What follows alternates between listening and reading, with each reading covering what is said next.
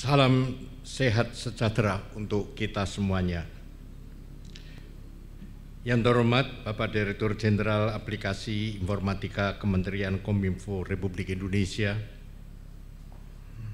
Yang terhormat Bapak Ketua Pandi, yang terhormat Kepala Pani Radio Pati, para Kepala Dinas Kebudayaan DIY dan Kabupaten Kota, sedaerah istimewa Yogyakarta,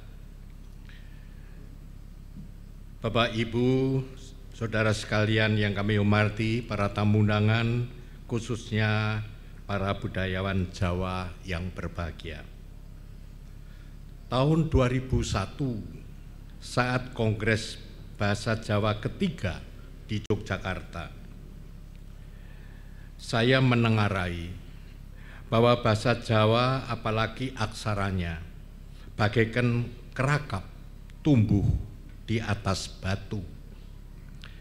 Kerakap adalah daun sirih yang lebar, tentu sulit untuk bisa hidup di atas batu gersang. Mendahului, mendahului digitalisasi aksara Jawa ini, sebelumnya pada 2013 telah diluncurkan aplikasi baca tulis aksara Jawa versi 1.0 yang setahun kemudian disempurnakan dengan versi 2.0. Hingga November 2013, aplikasi tersebut tercatat telah diunduh sekitar 10.000 kali unduhan. Pada peringatan Hari Bahasa Ibu Internasional 2009, UNESCO mengingatkan dari 742 bahasa daerah di Indonesia yang 169 terancam punah karena penuturnya kurang dari 500 orang. Dalam update atlas tentang bahasa-bahasa yang terancam punah, UNESCO mengklasifikasi dalam lima tingkatan. Dari level tidak aman, terancam, sangat terancam, kritis, hingga benar-benar punah.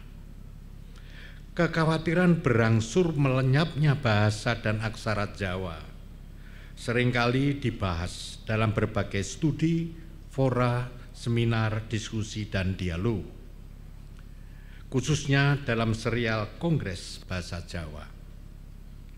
Upaya-upaya itu terdorong niat dedikatif untuk pelestarian dan pengembangan bahasa dan aksara Jawa yang konstruktif demi pembentukan watak dan pekerti bangsa. Bahkan secara konspiratif dengan Pancasila dalam perspektif persatuan Indonesia.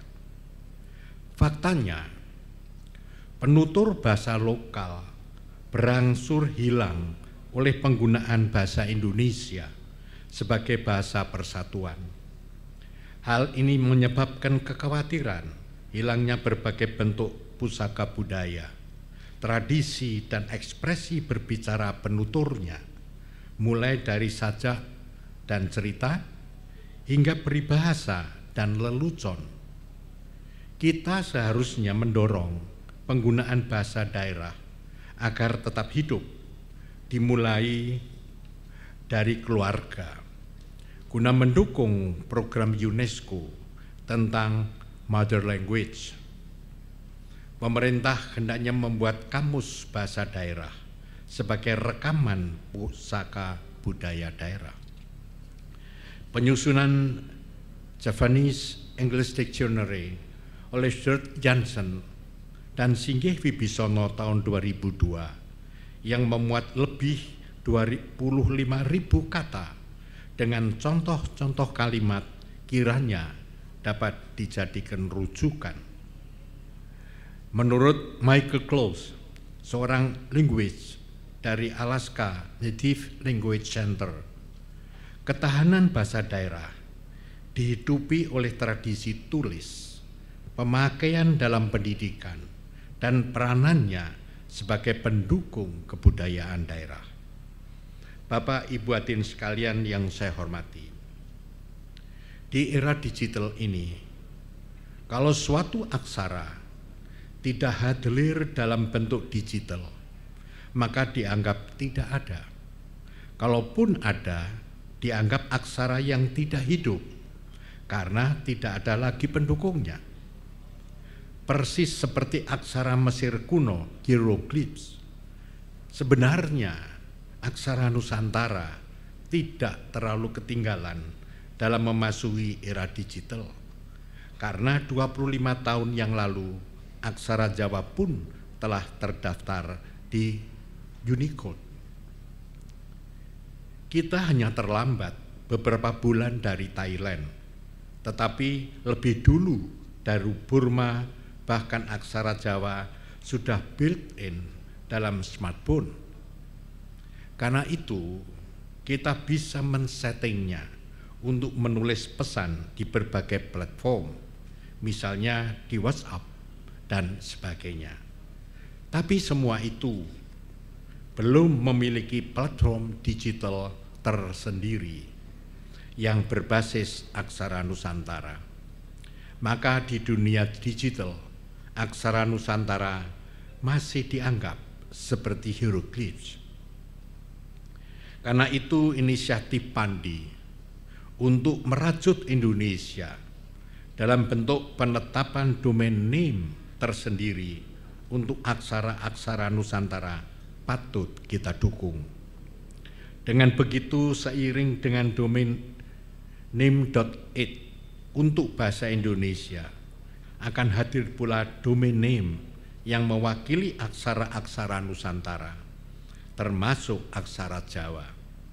Syaratnya setiap domain name itu harus didaftarkan ke ICANN. Sebagai pengelola domain name dunia, ICANN baru menyetujui jika yakin bahwa aksara itu benar-benar hidup dan punya pendukung budaya yang aktif. Untuk itu, ICANN perlu melihat apakah ada website yang berbasis aksara-aksara Nusantara yang hidup.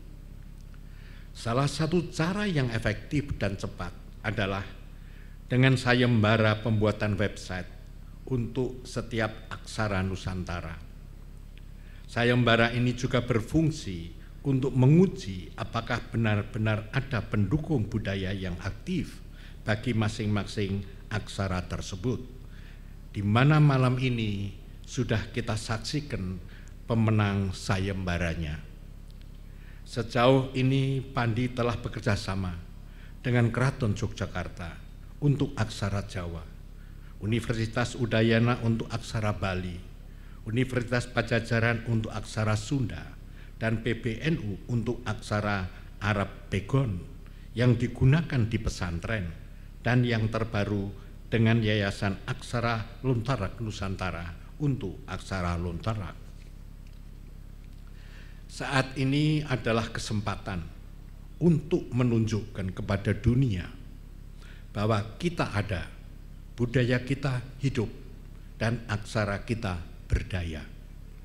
Dengan harapan seperti itulah, seraya bersyukur dengan ucapan Bismillahirrahmanirrahim, marilah kita bersama-sama selebrasi digitalisasi aksara Jawa ini kita nyatakan diluncurkan secara resmi.